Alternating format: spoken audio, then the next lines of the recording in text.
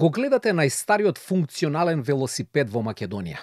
Стојан Блажевски го има во посет. Овој велосипед е од Втора светска војна оставен тука.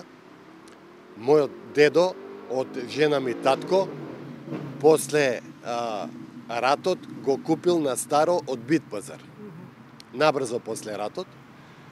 Така да не му се знае која точно година е произведен, али од Втори светски рат е остаен тука.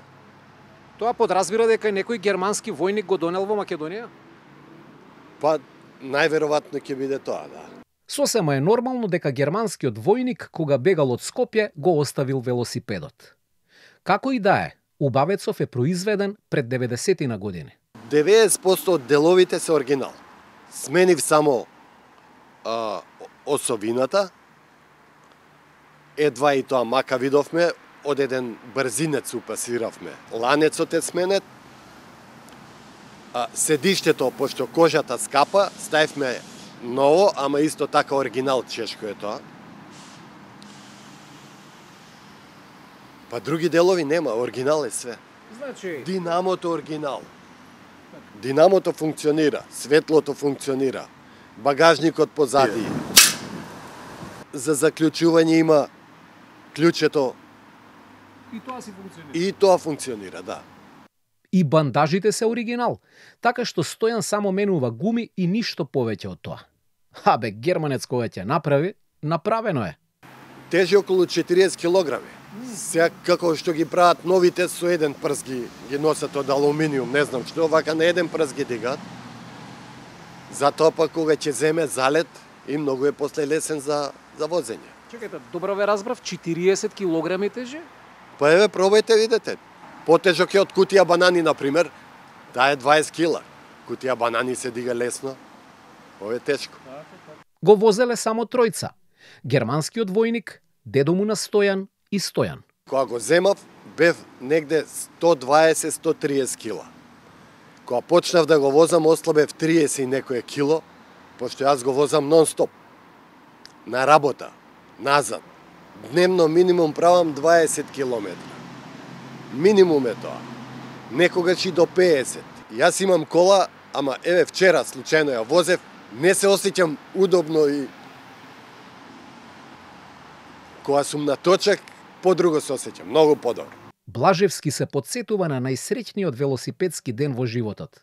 Имаше една манифестација кога беше градоначалник Коце Трајанов. Тогаш беше ден без возила и беше така организирано да возевме по Партизанска улица.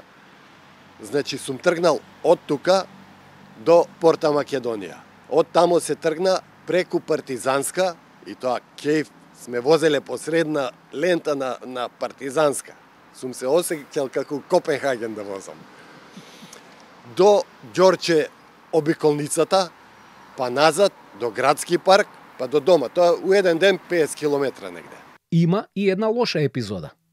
Непријатна случка, за среќа, тогаш на пешачки премин, среќа што го гурав точекот, на сред пешачки премин ме, ме собра кола, ме бутна и вика извини не те видов. Не знам кај треба да ме види ако не е на пешачки премин. Ми Паднавте? паднав, унесе малце, само кога се разбудив, дури не помислив ни на мене, тој ми вика, жив ли си? Ја му викам, е, точекот ми го скрши. Абе, вика, нов точек ќе ти купам, ти дали си жив да не те утепав. Му нуделе пари за да го купат. Ама иди раздели се од убавецов ако можеш. Имаше еден странец и вика, дали го продаваш точекот? Му викам, не, не е на продажба, а, поклон ми е. Ама вика, јас доста пари ќе ти дадам. И ден денеска ме копка, не го слушнав колку пари ќе ми даде. Не го прашавте колку пари. не го прашав и тоа, а баш бев у криза за пари ми беше страв да не го продадам.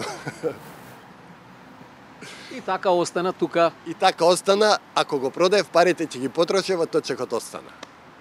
Го видовте најстариот велосипед кој секојдневно се тркала по скопските улици. Баш уникатна приказна, нели?